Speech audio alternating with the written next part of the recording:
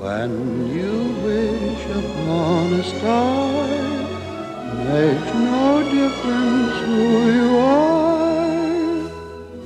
you are.